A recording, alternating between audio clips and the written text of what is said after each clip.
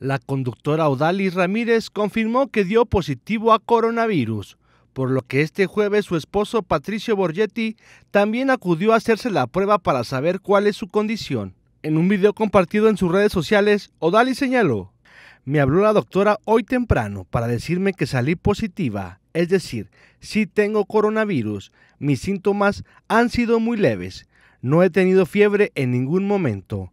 Lo que me llamó la atención es que tenía ratos falta de aire y es por eso que decidieron enviarme a realizarme la prueba, informó Isaac Pérez.